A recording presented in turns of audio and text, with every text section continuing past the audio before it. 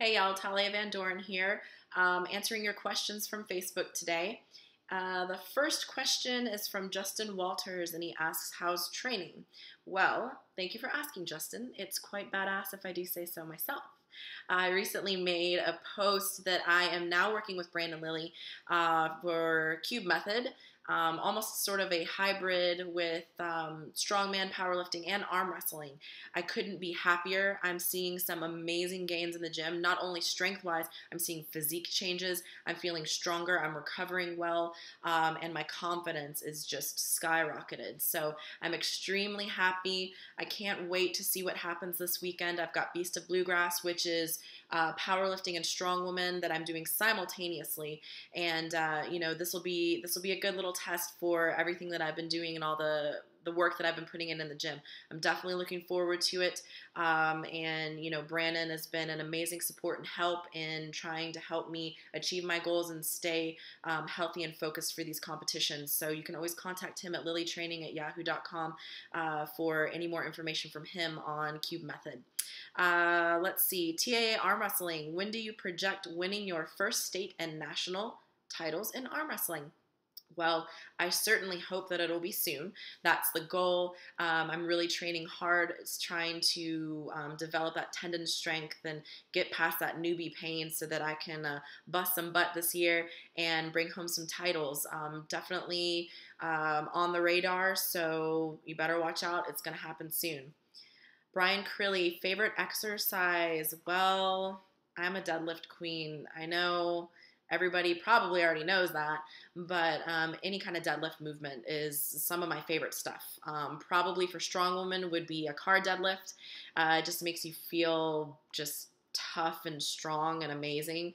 Um, I really am getting into doing some deficit deadlifts. I really enjoy that, seeing some explosiveness in that area. So, um, deadlifting, deadlifting, deadlifting. It's my bread and butter, and it's my number one favorite thing to do. Uh, Jessica De Palma, how do you find jeans that fit? Muscles make it impossible. Well, you're absolutely right. They do. So I don't wear jeans. Um, leggings, jeggings, and that's pretty much it. Um, skirts, skirts, dresses, that helps too because then you eliminate the lower half of the body pretty much.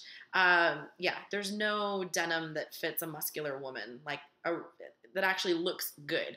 So um, jeggings, uh, TJ Maxx, honestly, is a great place to find jeggings. So that would be my best recommendation for that. Um, and take it as a compliment to yourself. Screw jeans. Who needs them? If you have too many muscles, you don't need to wear jeans. It's okay. Just move past it. Um, Josh, Manimal, Huxley asks, how many hours of ink? We have a video bomber here. That's Noodle. Yeah, I have a cat. I got two actually. Don't hate me for it. But he's awesome. He's kind of like a dog. So he's just going to sit here and chill. Um, so, how many hours of ink? I lost track years ago. I don't know. I don't know how many hours of ink. I don't know how much money I've spent. Thousands? Hundreds of hours? I don't know a lot, a whole lot. Um, and I probably would be really depressed if I actually knew how much money that I spent. So let's just say, I don't know, several hundred hours in into my tattoos and no end in sight. Chad Crawford, you know the answer to this question. Have you ever done Gangnam style in a country bar while sipping on Hpnotiq?